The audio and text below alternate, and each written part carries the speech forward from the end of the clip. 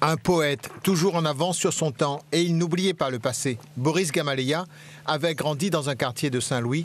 De la grande précarité, il en a retiré qu'il fallait s'engager en politique. Puis vint les désaccords avec le leader du PCR, Paul Vergès.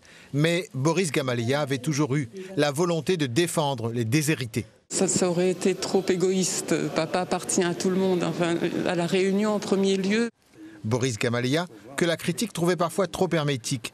Mais c'était aussi sa marque de fabrique, sa créativité. C'est surtout lorsqu'il est revenu euh, qu'il a développé son œuvre poétique, marquée par euh, la, Russie et l'orthodoxie aussi, et marquée par le, combat contre les, les, injustices, avec un enracinement euh, euh, je dirais, mystique russe et profondément réunionnais en même temps. Boris fait partie vraiment de ces gens qui ont euh, martelé des idées, qui ont été euh, fidèles à leurs idées, au point quand même d'avoir été exclus de l'île par l'ordonnance de Bré, par exemple, sa femme et lui. Hein.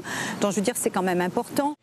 Un magicien des mots parlant du bal des hippocampes, ou encore Vali, pour une reine morte.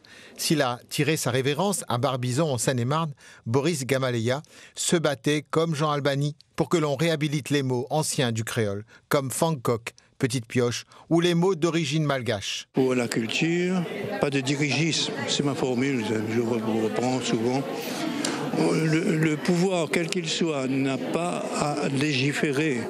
Avec lui, on revoit Simon Gavol, pionnière des femmes marron, aussi Zanar parmi les coqs, encore replié dans son bunker charmant de la plaine des palmistes, écouter battre le cœur de son île, tressaillant vers après vers.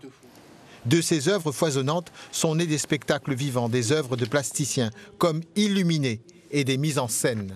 En partenariat avec le ministère de la Culture et la DACOI, nous avons un projet d'une anthologie de contes créoles. Voulait-il faire la synthèse poétique entre Mussard, le grand chasseur de noirs, et Simandef, parti marron à jamais? Désormais, il trône sur le terrain Lechi ou Pitangora, la douce chair des nombres, à moins qu'il n'ait préféré Piton la nuit, pour notre plus grand ravissement.